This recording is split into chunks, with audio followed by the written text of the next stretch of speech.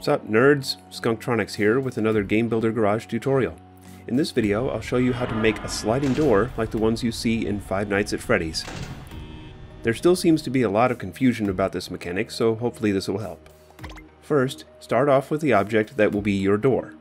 Make a duplicate of that object and turn off visible, solid, movable, destructible, and destructive. This duplicate will act as the door's anchor.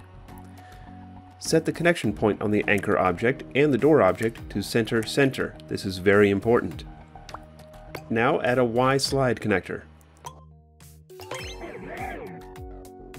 Connect the top of the anchor object to the Y slide, then connect the top of the Y slide to the door object. Next, place your door object into the position it will be in when closed, and take note of the Y value in its settings.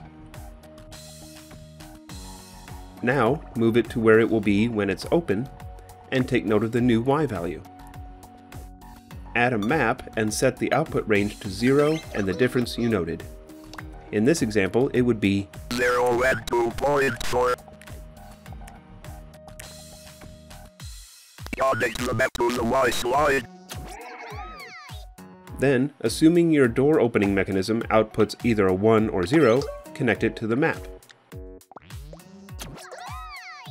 And that's it, you're done. If you've connected everything correctly, you should see that the door properly slides up and down when triggered.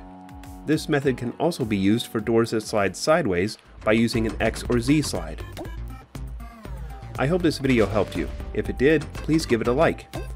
Comment below if there's a Game Builder Garage tutorial you'd like to see, and I might make a video about it. And be sure to subscribe if you want to see more content like this. Thanks for watching, and be the reason for a smile.